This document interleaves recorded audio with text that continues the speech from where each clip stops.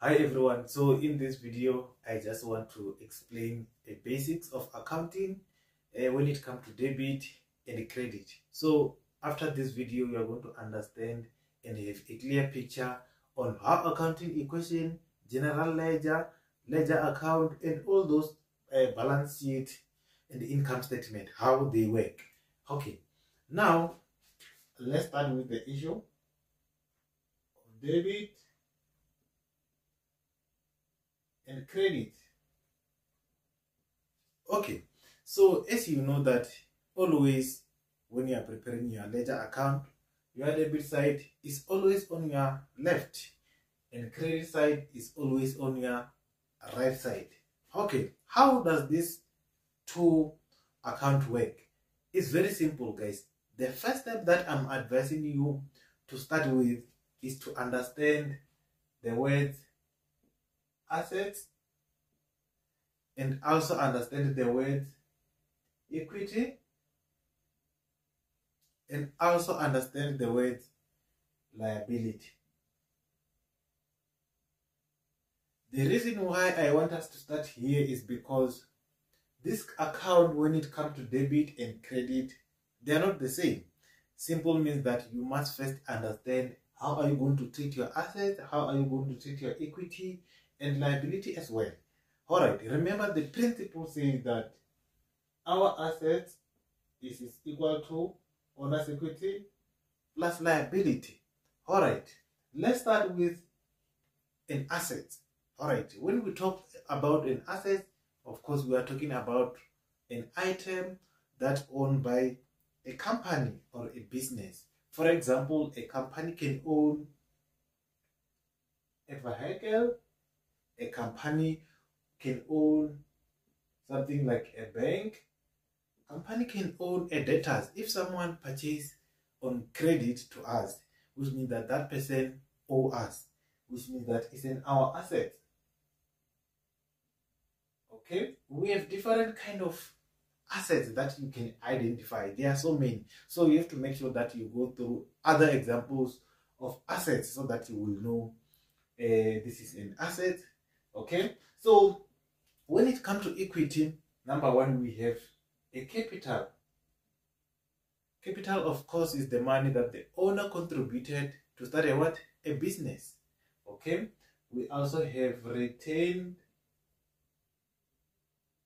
income Okay, so I want to explain retained income into detail.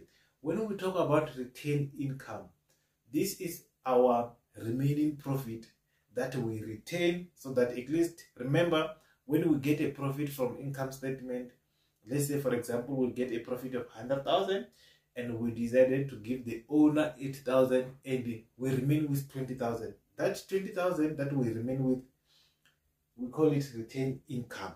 So under retained income, guys, everything that fall under income statement, you are going to include it here.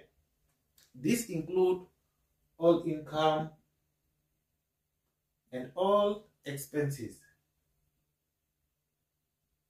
Simple as that. So you have to know that once you face an income and expense, you have to use equity account. Okay. Liability, we can have something like a loan, or payables. Okay, you also have to go and check other examples that fall under a liability. Okay, now let's go back to the rule that we are dealing with now a debit and credit. Okay, let's start in this way. In assets, when we come to this principle of debit and credit, always assets increase on the debit side and decrease on the credit side. Okay, it's an asset. This is a debit side. This is a credit side. Then we have equity. On the debit side and credit side is opposite with an asset. Okay, then liability is the same as equity. Okay, on the debit side you're gonna have minus and on the credit side you're gonna have a plus so this debit and credit rule doesn't apply the same way with assets and equity and liability. So you have to know that. Now let's go to example on how we going to apply these rules. Very simple. Let's do example when we are preparing a accounting equation, for example. Okay, let's say that a company purchase an item on credit. Let's say a company purchase equipment on credit by 500. What are we going to do in that case? Firstly, you must identify two components from that transaction. Number one, you have to ask yourself, what did the company purchase? Equipment, okay, is the first component. The uh, company purchased equipment. And the second one, we have to identify how does the company purchase that equipment. Is it cash or credit? If it's cash, you know that it's a bank. But if it's credit, you have to know that it's payable. We still have to pay someone. Okay? In this case, it's payable. Okay, amount we said is 500. So now we have to apply this principle of debit and credit. It's going to be very simple now because we identify our two items. Now we know that equipment is an asset, which means that this account is going to be affected. Okay, let's go to assets.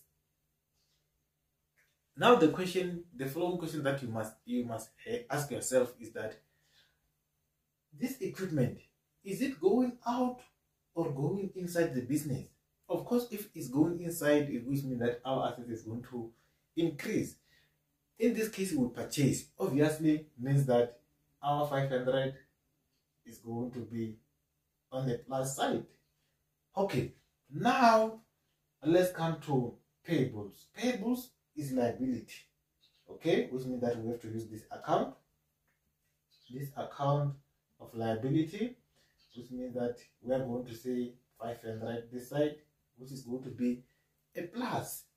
Okay, this is a debit and credit, debit and credit. So this rule, if you are preparing a ledger account, this is what you are going to do. Very simple. When it comes to assets, equipment, you are going to write a payables.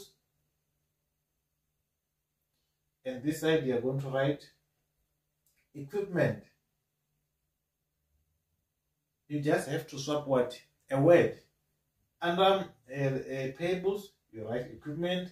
Under equipment, write payables. They swap a name. Very, very simple. Now let's go to principle of accounting equation. Every time when you deal with one transaction, you have to make sure that that transaction follow the rule. If the transaction follow this rule and you are preparing a balance sheet on the other side with the same information, your balance sheet is going to balance very correctly in a very simple step, guys. Okay, now let's check using this example. Our asset is 500 is plus 500. Is it equal to, did we find any owner's equity in this transaction?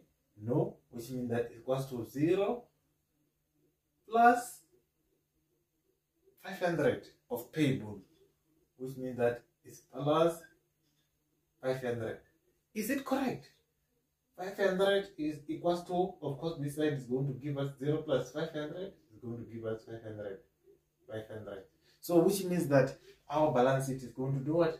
To balance. So you have to make sure that each and every time when you do a transaction is applicable to this uh, equation. If you do that, you are going to get everything very correct.